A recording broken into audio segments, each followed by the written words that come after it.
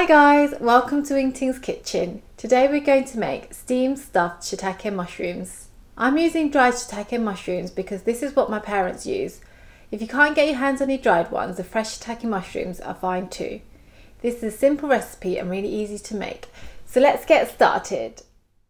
You'll need 8 dried shiitake mushrooms, 250 grams of minced pork, 1 spring onion, 1 clove of garlic, half a teaspoon of ginger powder, half a teaspoon of salt, half a teaspoon of white pepper, and 1 teaspoon of corn flour. For the sauce, you'll need about 300 milliliters of mushroom water, 1 tablespoon of soy sauce, 1 teaspoon of sugar, and a teaspoon of corn flour. If you're using dried mushrooms, you'll need to soak them for at least 20 minutes before we're able to use them. Make sure all the mushrooms are submerged into the water. I put a plate on top to stop them from floating. The water did spill over, but that's okay. Don't discard the mushroom water because we'll use this to make the sauce. While we leave that to soak, chop the spring onions. Just run your knife over it again just to get them slightly finer. And do the same for the garlic. Put the minced pork into a mixing bowl and add in the chopped spring onions and garlic. Then add in half a teaspoon of ginger powder. Of course you can use freshly grated ginger, but I didn't have any. Add in the salt and the pepper and then 1 teaspoon of corn flour. Using your hands, mix together until well combined. I like to throw the meat into the bowl to give it a better texture. Moving back to the soaked shiitake mushrooms, they should be soft and pliable now, like this. Cut the stalks off. I find using scissors is the easiest. Usually the stalks get thrown away, but I actually like to dice them up and add it into the mince mixture. Before getting your hands dirty, line the steamer with greaseproof paper or lettuce leaf if you have them to stop anything from sticking onto the surface. Again, using your hands, squeeze the bits of mushroom stalks into the mince. The shiitake mushrooms are ready to be stuffed.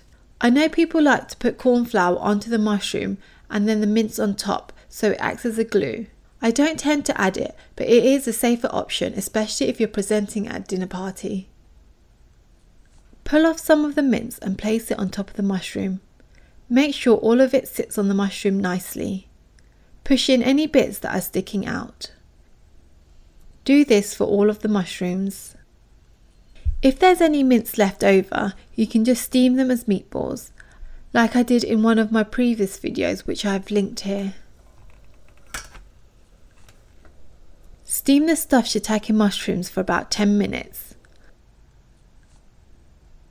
While they steam, let's make the sauce. Add in the soy sauce, sugar and corn flour into the mushroom water and mix it. This will need to be cooked. Check the mushrooms are cooked. Then moving on to cooking the sauce.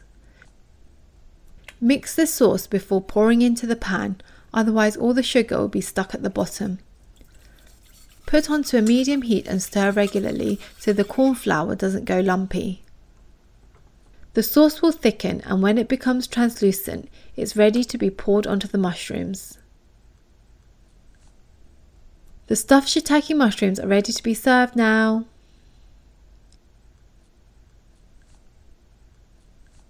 So here's my steamed stuffed shiitake mushrooms and best served hot so dig in right away.